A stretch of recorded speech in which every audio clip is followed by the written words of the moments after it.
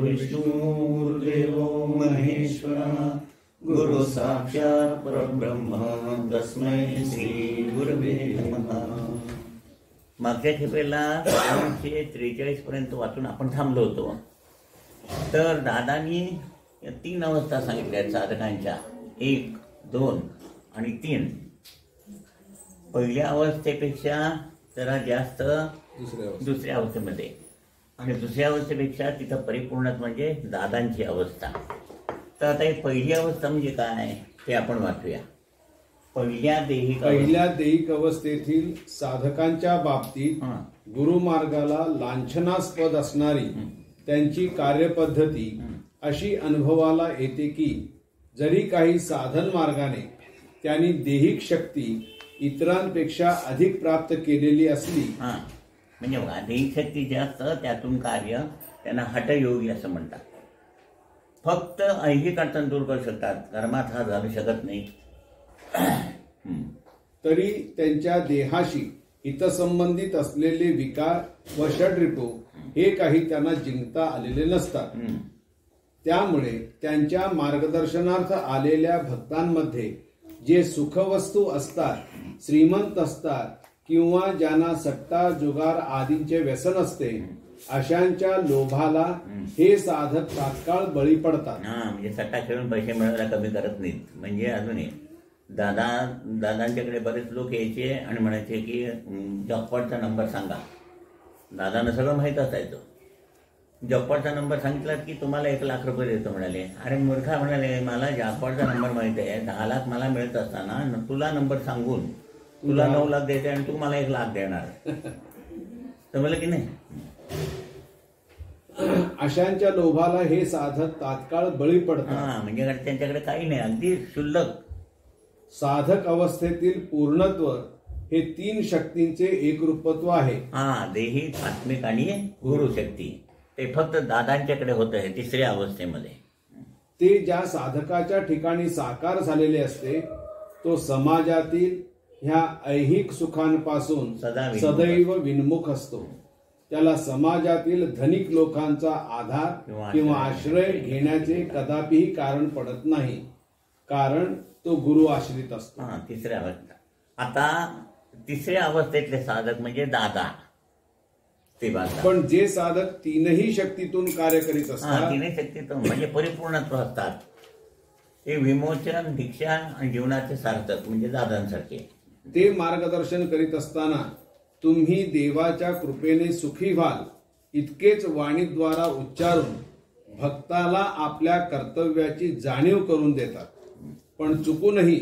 भविष्य काळाबद्दल आशेची दिशा दाखवून अधिक भक्तगण जोडण्याचा ते प्रयत्न करीत नाहीत. म्हणजे आता आपण पहिल्या अवस्थेतलं आणि तिसऱ्या अवस्थेतलं वाचलं. आता आपण वाचायला चालू करणार आहे ते ह्या मधल्या अवस्थेतला. म्हणजे धड इकडेही नाही तो आणि धड तिकडेही नाही. हा? ते वाचत. पहिल्या अवस्थेतील साधकांपेक्षा त्याच्यापेक्षा हा जरा श्रेष्ठ असतो. पहिल्या अवस्थेतील साधकांपेक्षा पेक्षा थोडी बहुत उच्च अवस्था म्हणजे ज्यांची आत्मिक शक्ती ही देहिक शक्ती बरोबर कार्य करते आहे अशा साधकांना समाजातील ऐहिक सुखे अनुभविणाऱ्या व्यक्तींबाबत थोडासा आदर वाटून त्यात आपण सहभागी व्हावे असे वाटते. इथं बघा दैहिक शक्ती बरोबर आत्मिक शक्ती कार्यान्वित म्हणून पहिल्यापेक्षा उच्च होता ह्याच्यापेक्षा प्रसिद्धी आणि शुद्ध शुद्ध सिद्धी प्राप्त झाले असतात. म्हणजे कणकण ते कुंकू काढायचं रुचकन मुली काढायची म्हणजे लोक त्याला पाहतात ही सिद्धी म्हणजे फार अलीकडची अवस्था आहे. त्यांना काहीच प्राप्त झालेलं नसतं. कर्मात तर हात घालू शकतच नाहीत. पण त्याला आपण लगेच बोलतो हो एकदम त्याच्या हातात उदी आली. म्हणजे हे काही कामाचे नाहीत हेही काही कामाचे नाहीत. आणि यांनी दीक्षा जर दिल्या तुम्हाला तर त्या शिक्षा म्हणून भोगाव्या लागतात नंतर. म्हणून दादांसारखे गुरु पाहिजेत. जे विमोचन नको असलेलं पहिल्यांदा काढून मग त्या एका गुरुची शक्ती देऊन स्वच्छ करतो म्हणून ते पद आहे प्रसादाची प्रसादाची घ्या यारे धुवून या ताट हे हे ताट आहे. हे स्वच्छ धुतलं पाहिजे पहिलं. जर दुधाचं पातेलं बरोबर नसेल आणि त्यात दूध घेतलं दूध नसतं. तसं हे पातेलं ताट स्वच्छ केल्याशिवाय म्हणजे विमोचन केल्याशिवाय बाहेरच्या मार्गात कुणीही विमोचनामध्ये हात घातला नाही. फक्त आपल्या मार्गामध्ये विमोचन आहे आणि मग दीक्षा देऊन जीवनाचं सार्थक होतं. याच्यापेक्षा पुढचा जन्म चांगला. पण देहिक अवस्थेतील साधकांइतके ते या विषयाकडे आकर्षित होत नाहीत. कारण त्यांनी अंगीकारलेल्या कार्याची जाणीव त्यांचे आत्मिक तत्व वारंवार करून देत असते. पण ह्या साधक अवस्थेतील जे कोणी साधक आहेत ते जरी पहिल्या अवस्थेपेक्षा उच्च आहेत तरी त्यांच्या कार्यपद्धती ह्या समाजाला अधिकच मोहित व आकर्षित करणाऱ्या असतात. म्हणजे मठ बांधायचे मोठमोठे हे करायचं मोठ- कार्य करायचं पैसे जमा करायचे. शूद्र सिद्धी कारण या अवस्थेत साधकांना क्षुद्र सिद्धी प्राप्त झालेल्या असतात. याचे कारण दोन शक्तींची अवस्था पूर्ण होऊन या दोन शक्तीचे दैहिकात्मिकची पूर्ण होऊन तिसऱ्या शक्तीचा आरंभ झालेला असतो. हा आता म्हणजे बघा डॉक्टर पदवी मिळालेले किंवा वकील पदवी मिळाली त्या दिवशी वकील पूर्ण होत नाही.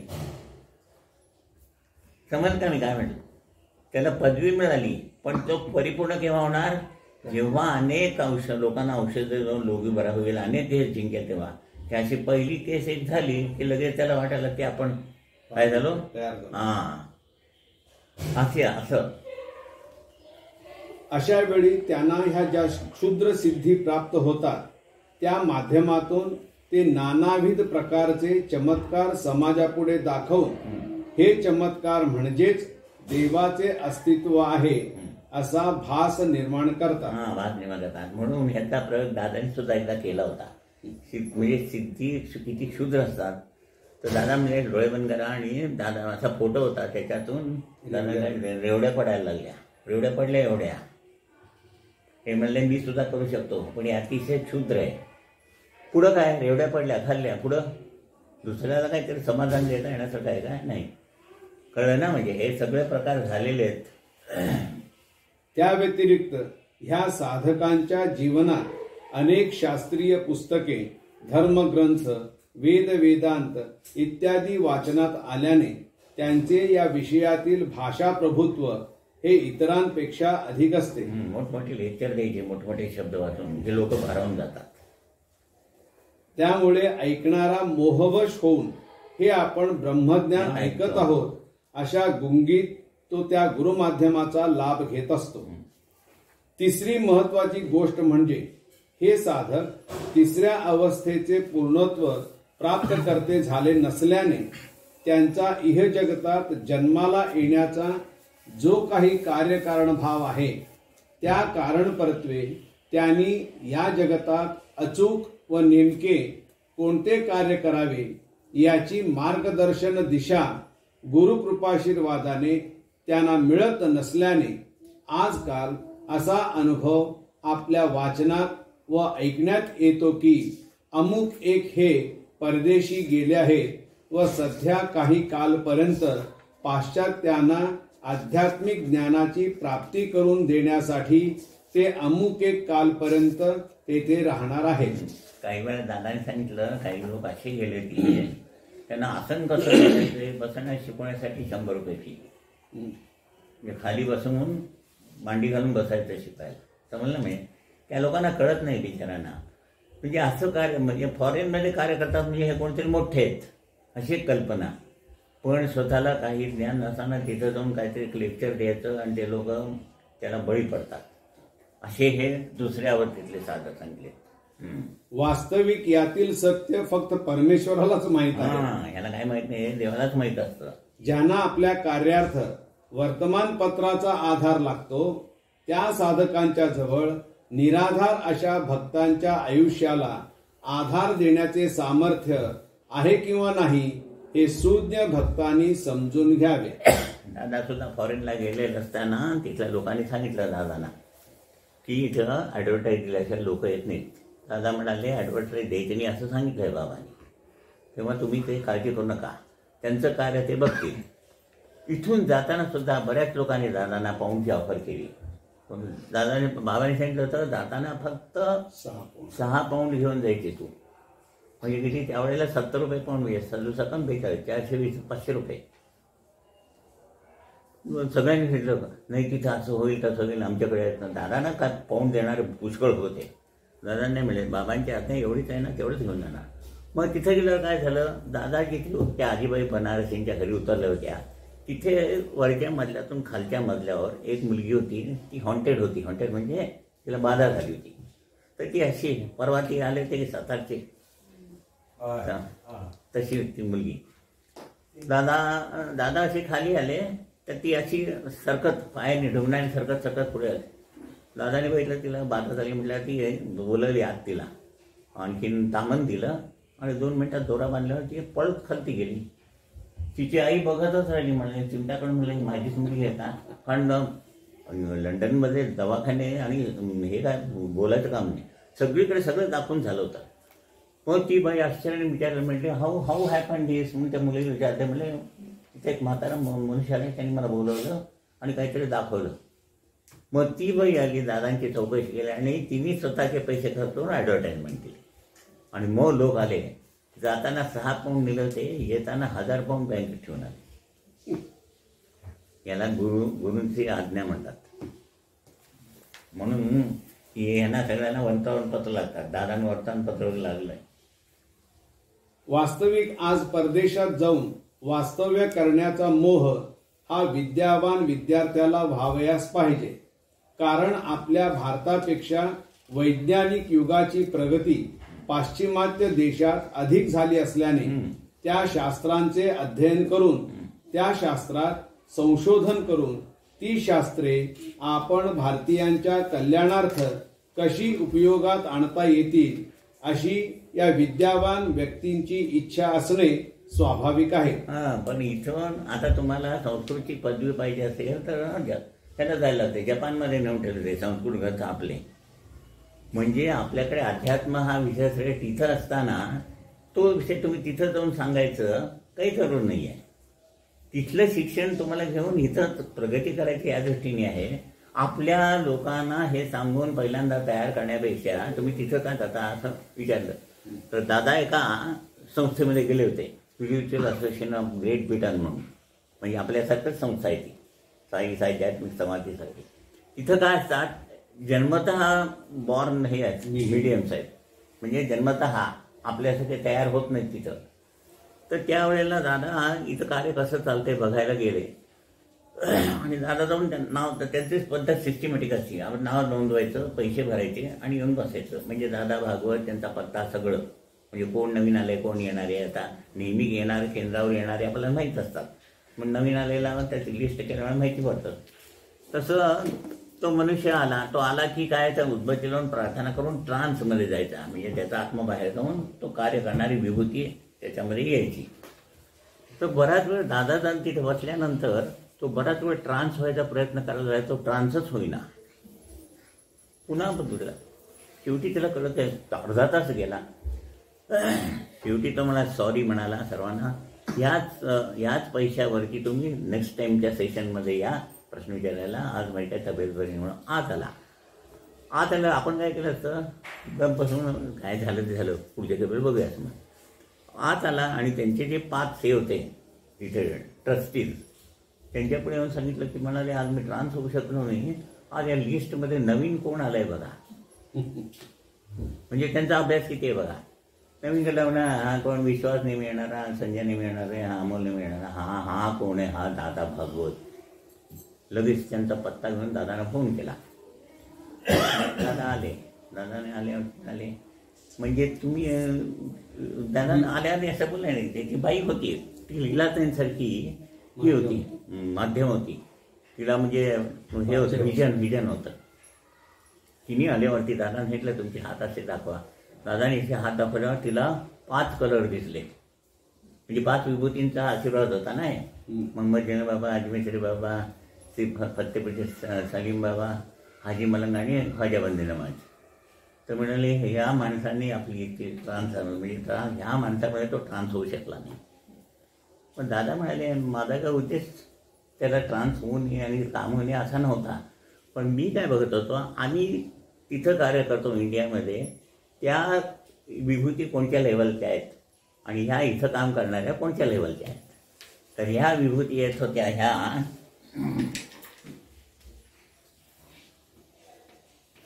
चौथ्या लोकातल्या आणि पाचव्या लोकातल्या होत्या. आणि आपल्या विभूती होतात त्या सप्त लोकांच्या होत्या. म्हणजे ह्याच्यापेक्षा इतकी वर. ह्या शक्तीपुढे ही शक्ती आहे. येणं शकत नाही हा अभ्यास. तर लगेच त्यांनी काय केलं माहिती आहे? म्हणजे कसे बघा लोक ते हुशार. तुमच्या तुमच्या मीडियमच्या लेवलला ट्रान्स करायला म्हणजे. आमचे तयार करायला तुम्हाला दहा हजार पाऊंड आणि गाडी आणखी तुम्हाला बंगला देतो. आपण असं काय म्हणतात यस लगेच तयार. दादा म्हणले मी विचार करून सांगतो.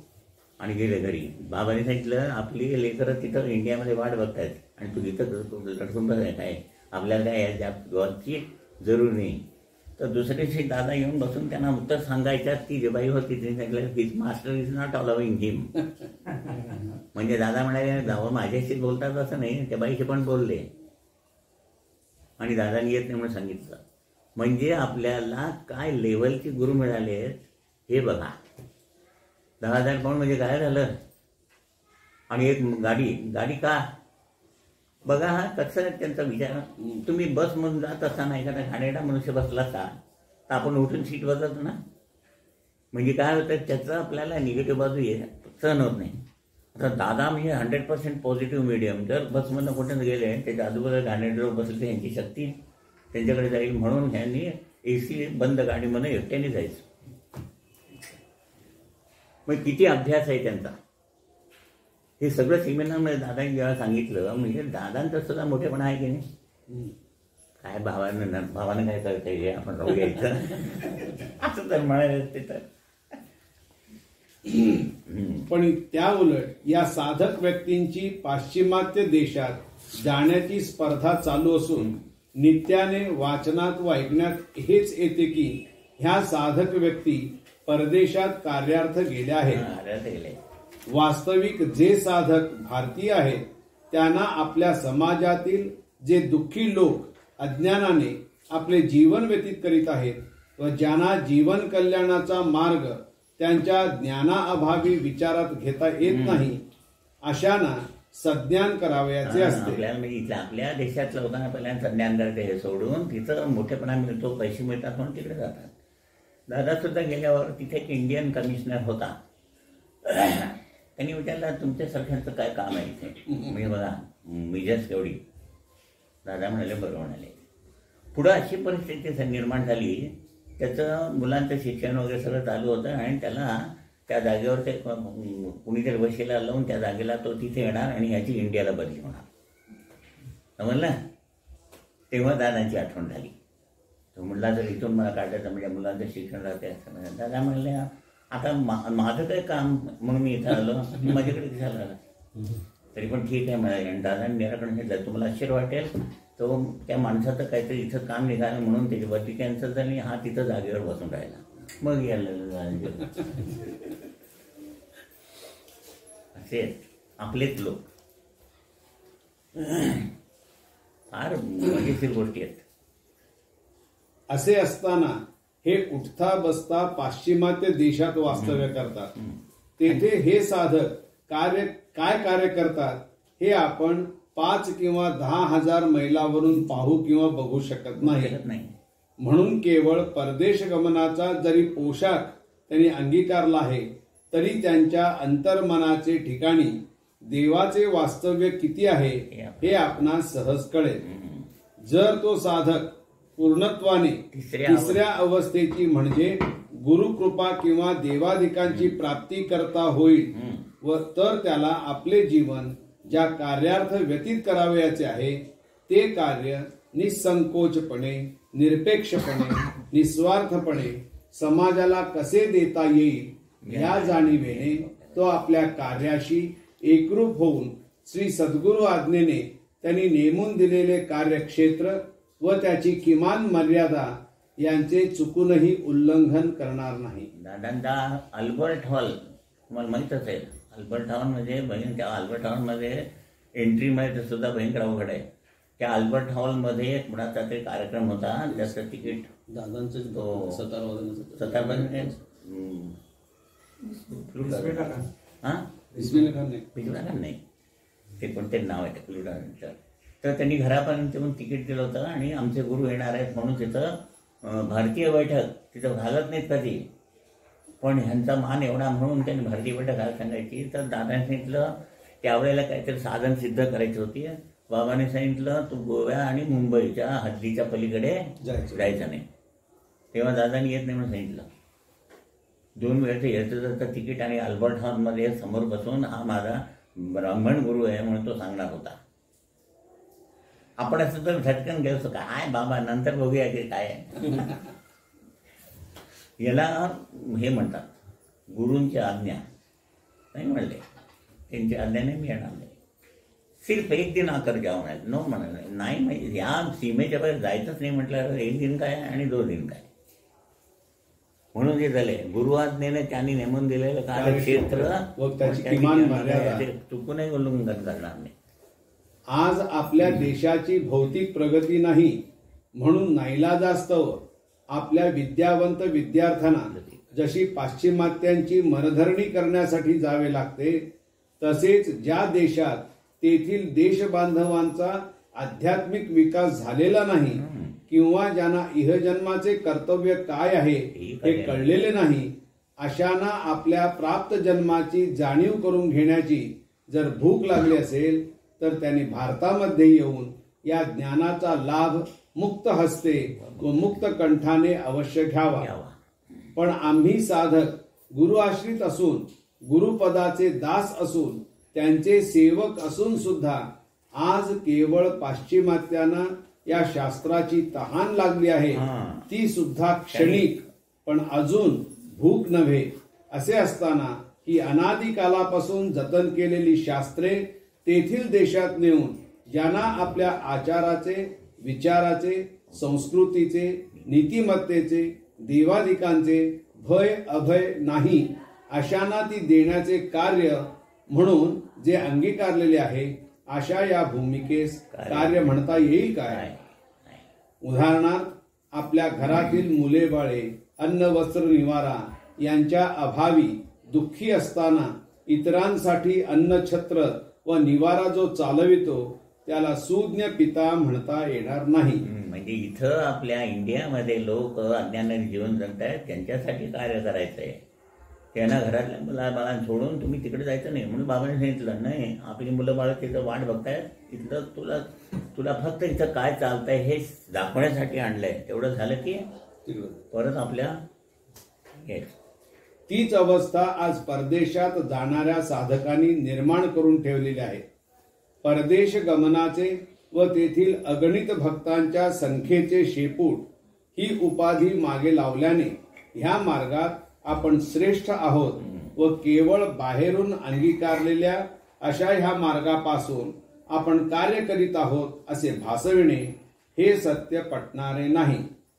या उलट कोणतीही परदेशी उपाधी तुम्ही आपल्या व्यक्तिगत जीवनात न अंगीकारून जर निस्वार्थ निरपेक्ष बुद्धीने आपले जीवन देशबांधवांसाठी व्यतीत केले व त्याची जाणीव होऊन जर पाश्चिमात्य देशातील बंधू बांधवांना खऱ्या अर्थाने जीवन उद्धाराची भूक लागली तर साधक हो तुम्हीही त्यांची भूक निस्वार्थ निरपेक्ष बुद्धीने शमन करण्याचे कर्तव्य प्रथम करा. करा.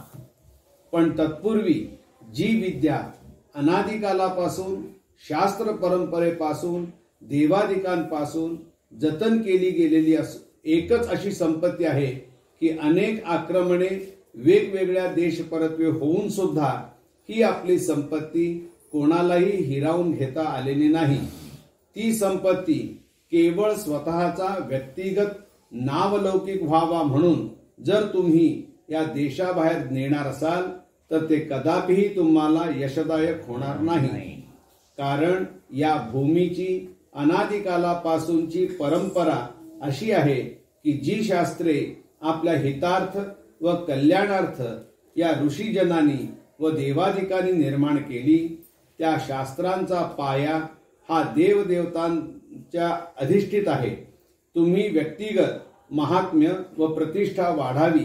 म्हणून जरी परदेश गमन केले व तेथे कार्य म्हणून काही संस्था स्थापन केल्यात आणि शास्त्राच्या नावाखाली जरी स्वतःला उजेडात आणले तरी ज्या शास्त्राचे अधिष्ठान देवदेवता आहेत ती शास्त्रे परदेशापर्यंत पोहोचली तरी देवदेवता परदेश गमन करणार नाही हे निश्चित लक्षात ठेवून पुढील काळात आपण अंगीकारलेले कार्य केवळ भारतात करावे की परदेशात करणे उचित आहे हे तुम्हीच ठरवावे. मात्र शास्त्र परत्वे तुम्ही वेशांतर देशांतर धर्मांतर करता आहात.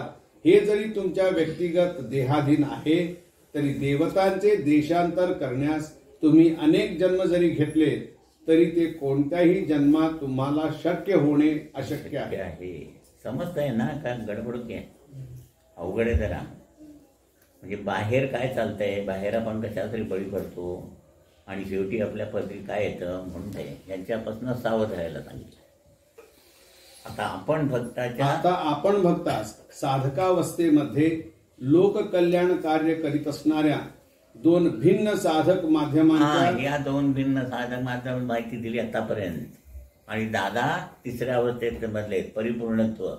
विमोचन. बाई बाहेरच्या मार्गामध्ये विमोचनात कुणीही हात घातला नाही. विमोचन म्हणजे भयंकर ते नुसतं नाव घेतलं अंगावर काटा येतो. मी सांगितलं होतं. एका माणसाची व्याधी घेऊन ती तीस वर्ष भोगली आणि येणाऱ्या सगळ्या माणसांच्या जर व्याध्या घेऊन भोगायचं तर जीवन खलासच होऊन जाईल. एक बाधा काढली तर भांडवर रक्त पडत होतं. असं आहे विमोचन. ह्याची एक बाधा काढायची म्हणजे त्याचं विमोचन करून त्याला मुक्त करायचं आणि ते भोगायचं आपण. असं हजार लोकांचं आलं तर काय होईल? पण ते दादाने सहन केलं म्हणून बाहेर विमोचनात कुणी हात घातला नाही आपल्या मार्गाशिवाय म्हणून आपला मार्ग श्रेष्ठ. आणि मागायला गेलो होतो ते ह्याच जन्मात असं लोकांना देतो आपण. ते ह्याच जन्मात बघायला मिळालं. म्हणून त्याहून श्रेष्ठ. म्हणून ह्या दोघांची माहिती आतापर्यंत सांगितली. तिसरं दादा. आपण भक्तास साधकावस्थेमध्ये लोककल्याण कार्य करीत असणाऱ्या दोन भिन्न साधक माध्यमांच्या लोककल्याण कार्याची कार्यपद्धती ही निवेदन करण्यात आली एक आणि दोन. आता ज्या साधकाचे ठिकाणी देहिक व आत्मिक शक्ती. यांचा विकास झाला आहे. व या दोन्ही शक्ती गुरुकृपाशीर्वादाने कार्य करतात. अशा या तिसऱ्या अवस्थेतील साधकाचे कार्य इतरांप्रमाणे जरी या पंचभौतिक माध्यमातून होत असते तरी जो देह या पंचभौतिक तत्वातून निर्माण झालेला असतो त्या पंचभौतिक देहाचे सर्व देहिक धर्म व अंतर्गत भाव भावना त्यांच्या देहाधीन असत नाही. व जरी असल्या तरी साधकाच्या इच्छा अपेक्षेप्रमाणे त्या कार्यान्वित होत नाही. कारण या दोन शक्ती गुरुतत्वाची किंवा गुरुशक्तीशी जेव्हा एकरूप होतात तेव्हा त्या साधकाचे ऐहिक अस्तित्व हे जरी आपल्या अनुभवास आले किंवा आपण त्याचा परिचय करून घेतला तरी त्या तिसऱ्या तत्वाचा आविष्कार त्यांच्या पंचभौतिक तत्वात गुरुकृपाशीर्वाद म्हणून झाला आहे. अशा साधकाच्या कार्याची योजना ही साधकाच्या इच्छा अपेक्षेवर अवलंबून नसून ती गुरुशक्तीच्या ती अधीन असते. गुरुशक्ती अधीन असते म्हणून कुठलं निवेदन लिहिताना आज्ञेवरून असं लिहिलेलं असतं म्हणजे त्यांचं त्यांचा देह फक्त ते माध्यम म्हणून देव वापरणार यांचं स्वतःचं स्वतःचं अस्तित्व किंवा स्वतःचं त्यांना काय नाही. नाही गुरुकृपाशीर्वाद म्हणजे आशीर्वाद म्हणजे फक्त ज्या गोष्टी ह्या लोकात सोडून जायच्या त्याच्याबद्दल लिहिलेला. व्यवहारदार सोनं नाणं मिळेल म्हणजे मरताना इथं सोडून जायचं. गुरुकृपाशीर्वाद म्हणजे गुरुकृपाशीर्वाद. म्हणजे इथून गेल्यानंतर परलोकात म्हणजे चौथ्या लोकात जाणं वगैरे वगैरे जे अशा गोष्टी.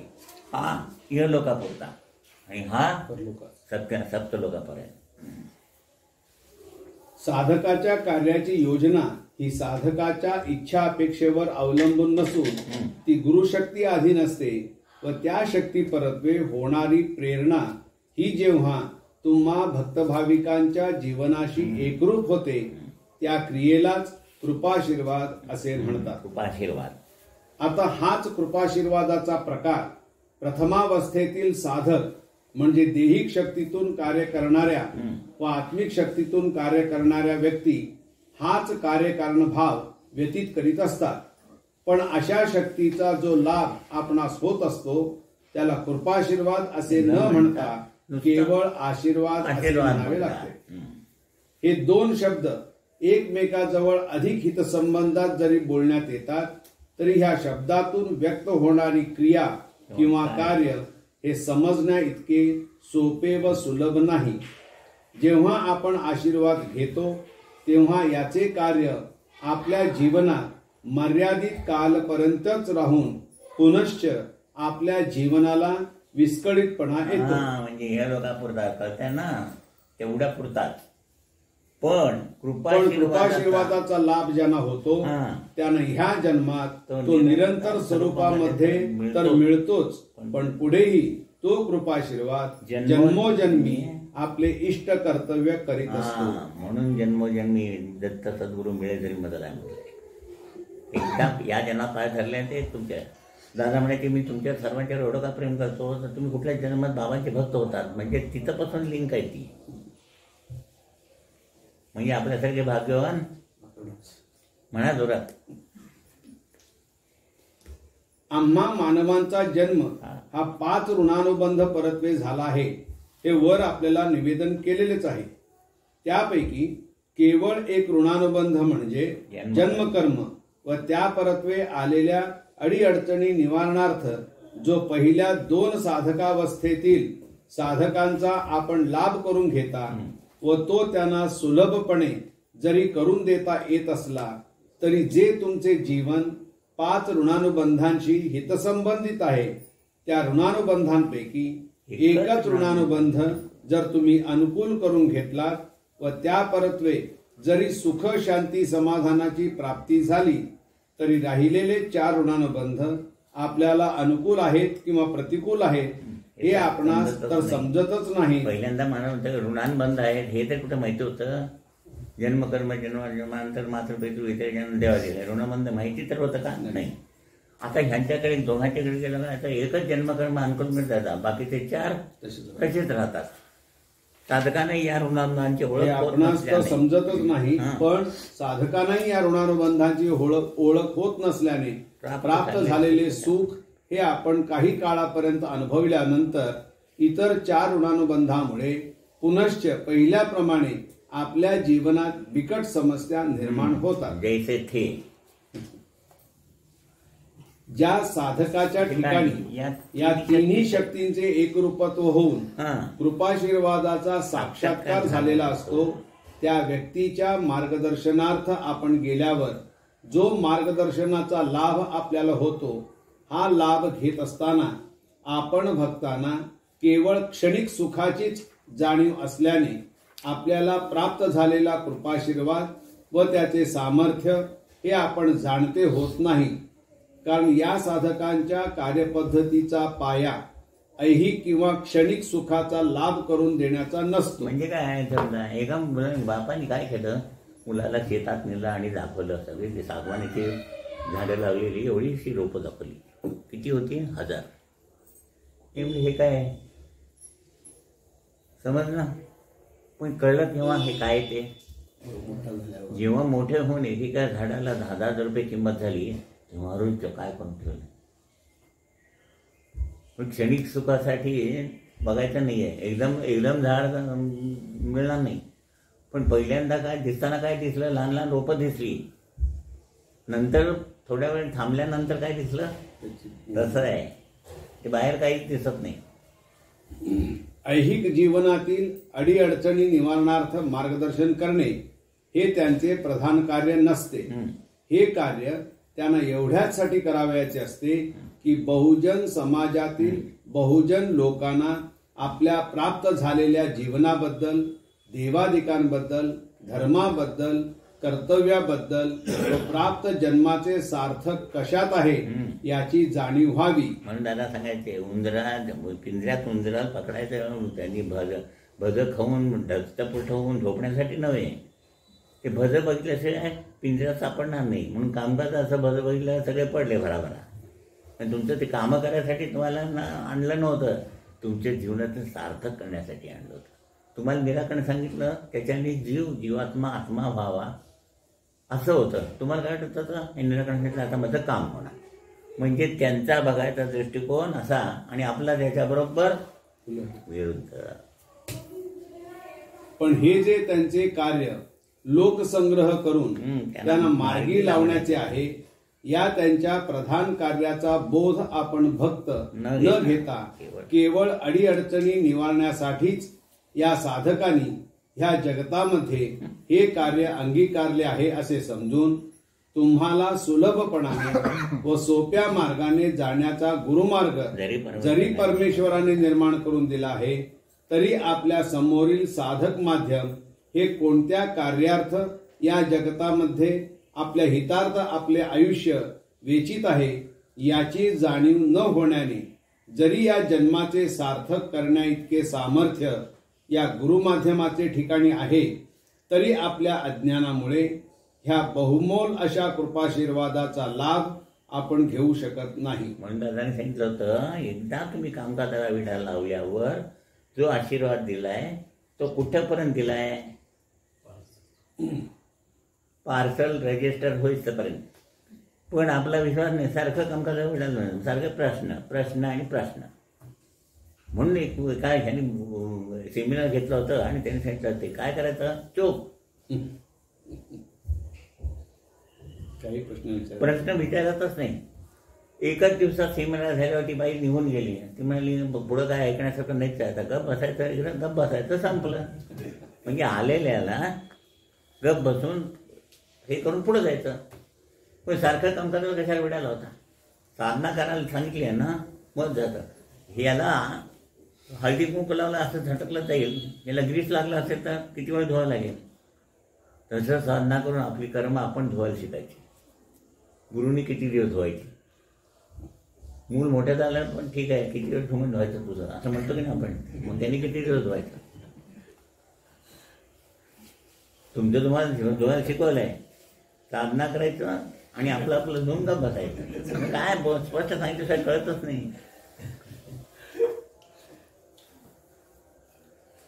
या साधकाच्या कार्यपद्धतीत जो प्रधान विषय तुम्हा मानवांच्या कल्याणार्थ असतो त्या विषयात तुम्हा भक्तांचे आचार विचार तुमच्या जीवनाला पोषक करून देणे व ज्या देवदेवता तुमच्या घराण्याच्या किंवा कुटुंबियांच्या आहेत त्यांच्या कृपाशीर्वादास आज तुम्ही आपल्या आचार विचाराने आशीर्वाद घेण्यास पात्र नसता. ती पात्रता आपल्या मार्गदर्शनाने तुम्हाला प्राप्त करून देणे हा हेतू असतो. याशिवाय जो तुम्हा मानवांचा जन्म पाच ऋणानुबंध परत्वे झाला आहे त्या ऋणानुबंधातील अनुकूल प्रतिकूल अशा क्रियेमुळे तुमच्या घराण्यात विद्यानाश धननाश संततीनाश होत आहे. त्यांचेही ते ऋणमोचन करतात. ही मार्गदर्शने ऐहिक जगतासाठी असतात. पण प्राप्त जन्मात आपला हितसंबंध हा पारलौकिक तत्वाशीही आहे. त्याचे सुद्धा जे हितसंबंध मातृपितृ ऋणांमुळे इतरे जणांच्या ऋणामुळे आज आपणास भोगावे लागतात त्या परलोकावरही त्यांची एवढीच सत्ता असते. त्यामुळे तुमचा विश्वास बसेल की नाही माहिती नाही पण दादाने सांगितले गोष्ट सांगतो. आपले हितसंबंध परलोकाशी आहेत का नाही आहेत? तिथं एक तिथे एक डॉक्टर होता दादा गेले तिथे भेटले. तर त्या डॉक्टरचं लग्न बरेच दिवस ठरत नव्हतं. मग दादाने त्यांनी विचारलं त्याला म्हणाला तुझ्या हाताखाली ही नर्स काम करते तिच्याशी लग्न कर. पण तिथं का होत नव्हतं? त्याचं कारण दादाने काय सांगितलं म्हणजे का? होत नव्हतं. तर ह्याला सांभाळलेली आई हिने दत्तक घेतला होता. आणि ह्याची आई खरी मारून ती गेली होती. तर तिचा आई म्हणून जोपर्यंत ह्याच्या तोंड उच्चार होत नव्हता तोवर ते लग्न ठरत नव्हतं. म्हणजे परलोकाशी संबंध आहे ना? कळत तर काही नाही. मग हे सगळं तुमच्या नकळत ते तोडायचं आणि तुमचं जीवन सुधारायचं याला ऋणमोचन म्हणतात. या दिवशी अभ्यास कराल ना तेव्हा काय करून केलं म्हणून? डोळ्यात पाणी येईल. एवढा अवघड आहे. त्यांचं ऋण कधी फेटणं शक्य नाही. कारण ते ऋण फेडूच नका म्हणतात. फक्त काय करा तुम्ही साधना करा न चुकता मनापासून करा. आस्थेने करा. आणि तुम्ही सुखी व्हा. म्हणजे आम्हाला तुमचे गुरुदर्शन सांगाल असे गुरु कुठे भेटणार? त्यामुळे जे हे दोष पिढ्यानपिढ्यातील कीड म्हणून हा. आज समाजात अनुभवास येत आहे. मातृपितृ बंध म्हणजे तुमचा जन्म इथं झाला आहे. सातव्या पहिल्या जन्मातली जी आई आहे तिचा संबंध आहे. सात पिढ्यातल्या सात. काय गणित मांडायचं आणि काय जीवन सुधारायचं? हा? त्यांचेही विमोचन ते आपल्या सामर्थ्याने सहज लिलया करतात. ही दोन निराकरणे म्हणजे आधिदैविक व आध्यात्मिक असून. ती सहजासहजी ऐकिवात आहेत व अनुभवातील आहेत पण जी आधिभौतिक निराकरणे आहेत. की ज्यांचा संबंध तुम्हा भक्तांच्या जीवनामध्ये स्थळ काळ. वेळ म्हणजे स्पेस टाइम आणि लिमिट या परत्वे येत असतो यालाच आपण अकस्मात संकट असे म्हणतो. एक भक्त होता मुंबईचा आई आजारी पडली व एकदम आजारी पडली. म्हणून दादाला फोन केला. दादाने सांगितलं त्याला मिळेल त्या फ्लाईटनी पहिल्यांदा तीनशे किलोमीटर दूर जायच्या. पण दादाने सांगितलं म्हणजे खलास तो गेला लगेच फ्लाईटचं तिकीट घ्यायला तो जसा तीनशे मैल दूर गेला आई उठून बसली. हे आधिभौतिक संकट. हे कुणीही केलं नाही आतापर्यंत. म्हणजे घरात हे ऋणांबंध काय कोण आधार पडतं ते एकमेकाचे ऋणांबंध असे असतात पण सांगणार कोण भेटत नाही. म्हणून ठीक आहे म्हणून साधना केली की त्याच्यामध्ये अंतर्भूत केलं आहे यावेळेला अभ्यास कराल ना तेव्हा आस्थेने साधना कराल. आता बरोबर चाललंय नुसतं. हां. तरी का साधना झाली? आग लागली की जागवायची. मग जागव म्हणून थोडी आग लावतात.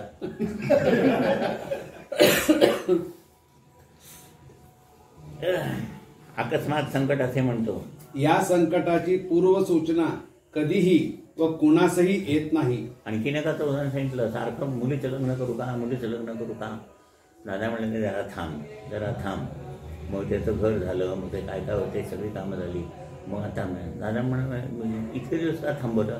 हे म्हणाले ते लग्न होऊन गेले असेल ना तर तू विकायला लागला असता तिथंपर्यंत तुझा ऋणांबंध होता. आणि तिचा ऋणांबंध आणि त्याची सगळी कामं झाल्यानंतर मग तिथं लग्न केलं आता तिकडं व्यवस्थित. किती लक्ष ठेवावं लागतं असेल? कुठून अभ्यास आहे? कुठलं कुठल्या शास्त्रात बसत आहे? आणि कुणी अभ्यास केलाय? आमचा दीपक पण तुम्हाला सारखं हा? विचारतो कॉलेजच्या लग्नाबद्दल दीपक. हां. तुम्हाला सारखं विचारतो होय. केव्हा मला केव्हा? जे की लग्न झालं की म्हणजे बरोबर कळलं. शांत बसायचं साधना करून वेळ आली की सगळं करतात घाई झाली घाई. भांडणं.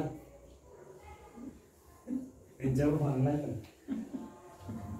पण आपण ह्या जन्मात जेव्हा सर्वस्वाने सद्गुरु रूप होतो हा. तेव्हाच याचा लाभ सर्वरूप व्हायचं म्हणजे काय व्हायचं हो? सांगा बघू. हा. सर्वस्वाने सर्वरूप व्हायचं म्हणजे काय आहे संध्या? साधना करून सगळी शक्ती प्रत्येक पेशीमध्ये गुरुशक्ती ध्यान झालं की तुमचं जीवन गुरुमय झालं सद्गुरू झाला. मॅरोपर्यंत आहे. मोहन मारूपर्यंत बरोबर आहे. वर वरपासून खालीपर्यंत आहेत याचा अनुभव आहे की नाही तुम्हाला? बघा मी बराबर माहिती काय रे तुला बघितलं की माझे तळपायचे आणि मस्तकात जाती म्हणे. म्हणजे सबंध अंगभर राग जर भरू शकतो तर गुरुशक्ती भरू शकत नाही. तुला बघितलं मला एकदम प्रेम येत आहे असं का नाही म्हणत? ते म्हणण्यासाठी गुरु पाहिजे राग तर येतो नॅचरल आहे. तळपायाच्या मस्तकात जाते. म्हणजे सबंध शरीरभर म्हणजे थरथर कापायला लागतो असं. तसं प्रेमाने का हो ओसंबत नाही?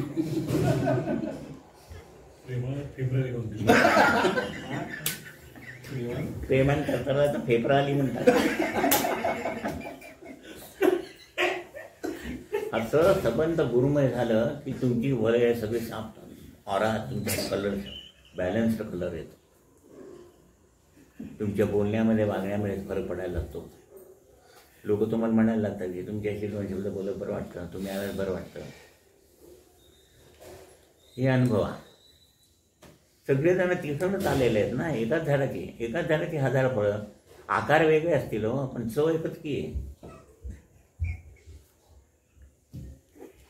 चला. या संकटाची पूर्वसूचना कधीही व कुणासही येत नाही.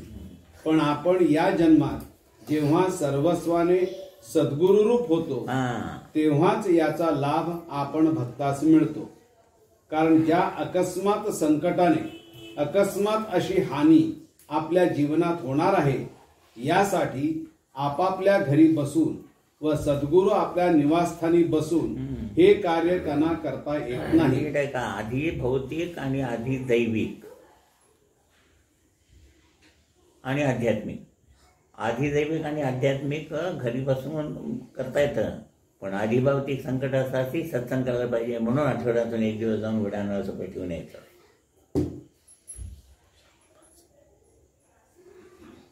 हे बघ. सद्गुरूंना आपल्या निवासस्थानी बसून हे कार्य त्यांना करता येत नाही. यासाठी वेळोवेळी दूरदर्शनात जाऊन त्याचा लाभ घेतला पाहिजे. आधी भौतिक संकट टाळण्यासाठी आठवड्यातून एकदा केंद्रावर जायचं आणि विधानावर पेटवून यायचं. आज आपली भूमिका अशी असते की जेव्हा अडीअडचणी निर्माण होतात हा, म्हणजे आग लागली की धावायचं. तेव- तेव्हाच आपण प्रश्नांची विचारणा करण्यासाठी गुरुस्थानी गुरुस्थानी जावयाचे. पण मध्यंतरीच्या काळात तुमच्यावर काय संकटे येणार आहेत ही जाणीव संकटे. कदापिही तुम्हाला देत नसल्यामुळे त्या संकटांचा आघात किरकोळ स्वरूपापासून ते व्यक्तीचे अस्तित्व नष्ट होणे इथपर्यंत तीव्र असतो.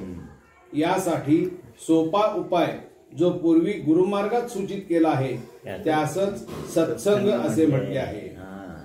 म्हणून जायचं केंद्रावर.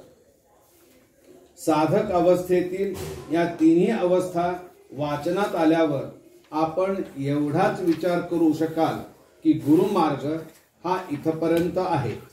पण या गुरुमार्गातील तीन अवस्था व त्या अवस्थेपर्यंतचे जे गुरुकृपाशीर्वादाचे कार्य असते त्याच संबंधी फक्त विवेचन झाले आहे. या तिन्ही अवस्था प्राप्त होऊन साधकाच्या ठिकाणी आविष्कार झालेली शक्ती साधकाच्या माध्यमातून लोक कल्याणार्थ कार्य म्हणून सेवा स्वरूपात. केली जाते. हा लोक कल्याणार्थ म्हटलंय. जगत कल्याणार्थ म्हटलं नाहीये. कारण प्रत्येक जी व्यक्ती येते तिचा संबंध परलोकाशी आहे. कुणाचे पैसे पडेल असतील कुणाची कोण आई असेल कोण असेल अमुक असेल तमुक असेल सगळे ऋणांबंध त्या तिन्ही लोकांवर ज्याची सत्ता आहे त्यांनी निराकरण सांगितलेलं ते त्याच्यात जीवनात कार्यान्वित होईल त्याचं जीवनाचं सार्थक होईल. म्हणून इथं म्हटलंय गुरुकृपाचं कार्य असते त्या संबंधी एक विवेचन झाले. या तीन अवस्था प्राप्त होऊन साधकाच्या ठिकाणी आविष्कार झालेली शक्ती साधकाच्या माध्यमातून लोक कल्याणार्थ कार्य म्हणून सेवा जाते म्हणजे सप्त लोक.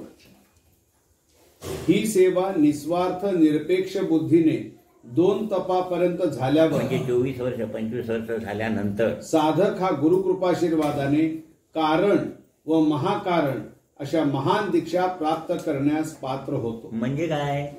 ऑपरेशन करता करता करता करता एक्सपर्ट होतो बघा तो. पहिल्यांदा दिवसातून चार करत असेल नंतर दिवसातून दहा करायला लागतो नंतर दिवसातून शंभर करायला लागतो. बरोबर आहे? मोदी मोदी एक्सपर्ट किती होते? टेबलावर नुसतं घालून दिवसातून हजार ऑपरेशन करायचे. होय ना? मोदी डोळ्याची. करता करता. तसं लोकांचं काय करता करता इतक्या अवस्थेला जातात की कारण आणि महाकारण म्हणजे उच्च अवस्था. महाकारण म्हणजे देवासारखंच होणे. पहिला जो जन्म होता तो हा देवाची आकृती आणि त्याची आकृती सारखी होती. पण नंतर कृती गाढवासारखी करत जाऊन बाद झाला. याचा अर्थ असा असतो की दोन तपापर्यंत लोककल्याणार्थ अंगीकारलेली सेवा ज्या शक्तीच्या कृपाशीर्वादातून साधकाच्या देहिक माध्यमातून केली जाते त्या शक्तीच्या मूळ स्वरूपाशी. हा साधक एकरूप होऊन कारण दीक्षा व महाकारण दीक्षा या अवस्थेप्रत जाण्यास पात्र होतो. आता कारण दीक्षा म्हणजे काय? देहामध्ये दोषांचं कारण राहिलं नाही. म्हणजे देह अतिशुद्ध झाला म्हणजे कारण दीक्षा. आणि अतिशुद्ध शुद्ध झाल्यानंतर पुढं मग देवासारखा झाला म्हणून ती महाकारण अवस्था म्हणजे नारायण अवस्था म्हणजे नर जन्माला येऊन तुम्ही नारायण व्हायचं कर्तव्य पूर्ण करायचं आहे त्या ते जोपर्यंत करत नाही जीवन ईश्वरमय करत नाही तवर पुन्हा पुन्हा जन्माला यावं लागतं. म्हणून एका जन्मात गुरुची तरतूद केली आहे त्याशिवाय तुम्हाला मुक्त होता येत नाही. उदाहरणार्थ या तिसऱ्या अवस्थेतील साधक हा देवदेवता उपासक असेल किंवा दत्त उपासक असेल. अगर नाथ परंपरेचा उपासक असेल. दादा तिन्ही होते? दत्तपंत नाथपंत आणि सुबी तिन्ही तर एकरूप होतं दादांच्या ठिकाणी होतं. म्हणून दादा अकरावे नाथ सर्वश्रेष्ठ गुरु.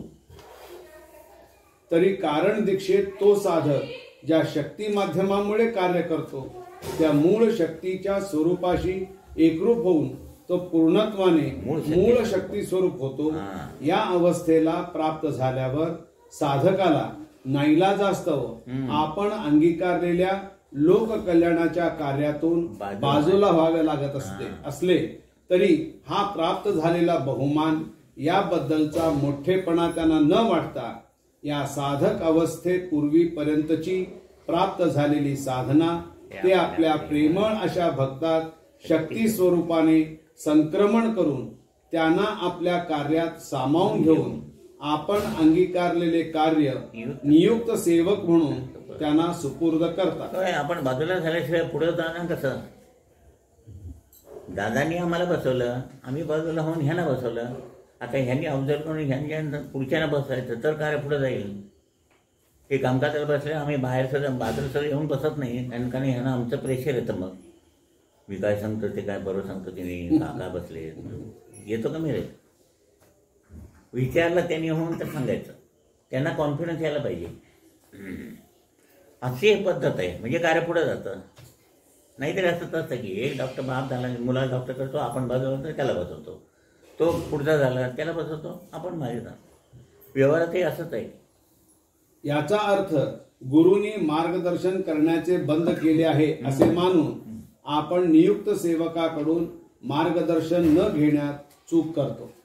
वास्तविक अशा प्रकारचे कार्य करणारी परंपरा अनादिकालापासून नाथ संप्रदायात असल्यामुळे उत्तरोत्तर होणारी जी प्रगती ती जर हा साधक हा प्राप्त झालेला गुरु सामर्थ्याचा ठेवा माझ्यासाठीच माझ्यासाठीच आहे असे म्हणून या दोन तपानंतर ती शक्ती स्वतःचेच ठिकाणी ठेवता झाला तर परंपरेने पुढील काळात जे कार्य लोक कल्याणार्थ म्हणून चालावे ही परंपरा न चालता त्या साधकाच्या अंतकाळानंतर त्याने या काळपर्यंत केलेली सेवा व त्या सेवा कार्यार्थ प्राप्त केलेली सिद्ध साधना ही त्याच्या बरोबर लयास जाते उपयोग म्हणून दादाने सांगितलं की जाताना गुण इथं ठेवून जायचं आहे आणि गोविंद गोविंद म्हणत जायचं आहे तुम्ही जिथे ध्येय ठेवाल तिथे कृपा तिथं राहील. त्याच्यावरनं जोगेल त्याचं कल्याण होईल. या ह्या तुम्ही तुमचा देह पुण्याचा ठेवा म्हणून ठेवून जाणार आहे. असं कोण करताय? तुम्ही आता पावलागणिक निघाला की तुमच्या पावलातून कुठे शक्ती त्या पृथ्वीत जाऊन त्याचं कल्याण होणार आहे. बघण्याने होणार आहे स्पर्शाने होणार आहे बोलण्याने होणार आहे. अशी अवस्था कोण देत आहे एकट्याला नव्हे सगळ्यांना. हां थांबूया. आता आपण इथं थांबून आता उद्या